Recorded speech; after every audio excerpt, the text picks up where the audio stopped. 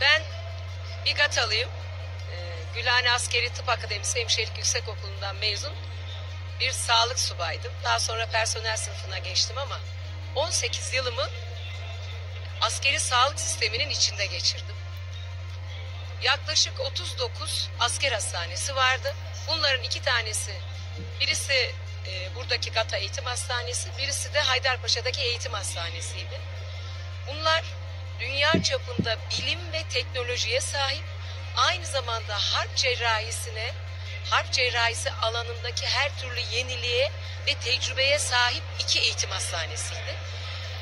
E, taş hastaneler ya da cidar hastaneler dediğimiz diğer asker hastaneleri de özellikle operasyonel bölgelerde e, operasyon noktasında yaralanan askerlerin cephe e, çatışma alanındaki ilk müdahaleden sonraki ikinci müdahaleyi yaptıkları noktalardı. Buralarda da yine ateşli silah yaralanmaları konusunda uzman, hekim, hemşire, sağlık astsubayı e, bir sürü eğitim almış bir ekip vardı bunların içinde.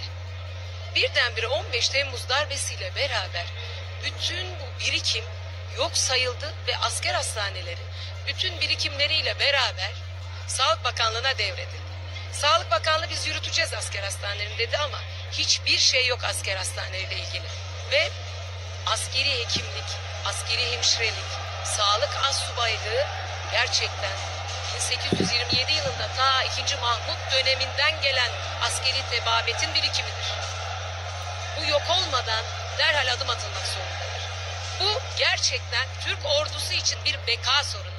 Türk ordusu için. Beka beka diyenlere duyurulur. Türk ordusunun var olmasının en önemli manevi gücü arkasında yaralandığında ona destek olacak, hayatta kalmasını sağlayacak asker hastaneleri, askeri sağlık sistemidir.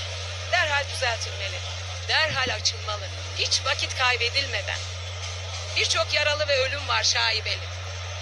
Acaba ilk müdahale yapılsaydı, askeri cerrahiye uygun yapılsaydı yaşayabilir miydik diye. Bunun vebalini kimse almamalı. Biz de Allah izin verirse ilk projelerimizden asker hastanelerini açacağız.